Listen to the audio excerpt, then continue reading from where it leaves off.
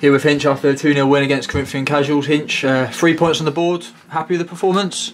Uh, not the performance uh, this time, but uh, you know, definitely take the clean sheet and three points was invaluable for us. Um, it's the first time really since we've been on a bad run that I've noticed the lads playing. Um, you know, maybe a little bit of fear and uh, uh, a little bit of nervous sort of edge to their game first half. Um, so I think the first goal was, was massive for us and uh, helped settle everyone down. The way you set up the team with the personnel and the formation that you, you, you, put the boys into, it was like you really wanted to go out on the front foot and attack the game. How do you think we played going forward compared to recent performances?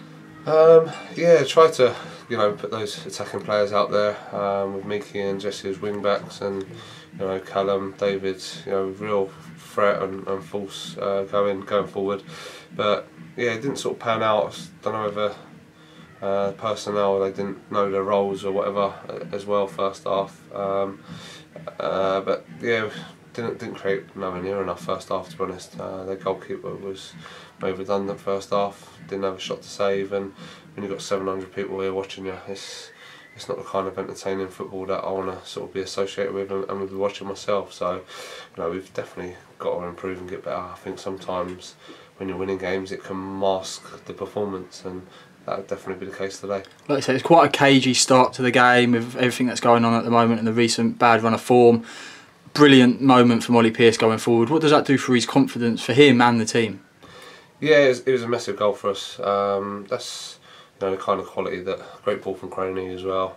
Great first touch from Molly, and that's the kind of quality that you know these players do possess. But you know we've got to be seeing it on a regular occurrence now. Um, I think Ollie could, if he gets back up to full fitness, um, you know that that good run there today, like 80 odd minutes, 85 minutes, would have done him the world of good.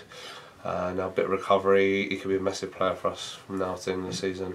Um, it's just maybe not been fully fit with his ankle, um, feeling it a little bit, and you know now a bit of rest. Um, hoping to get him fully fit, and he could be a big player, like I say, from now to the end of the season. We had over 700 come through the gate uh, Woodside this afternoon. Uh, what sort of testament does that say about the club? Yeah, it's, it's, incredible. It's incredible, incredible support. Um, you know, when you're on the kind of run we're on, it'd be easy for them to stay away, but you know, they've been loyal to us and stuck behind us, and uh, you know, I'm pleased. I'm pleased for them that we got the win, but like I say, I think our performances were better than the last two games.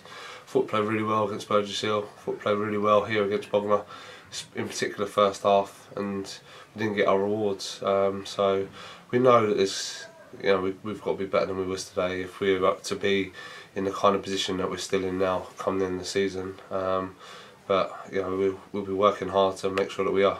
We've got a bit of a rest now. Margate play on New Year's Day, and then we play them after that. Is there a lot of work that you want to get done in between now and then?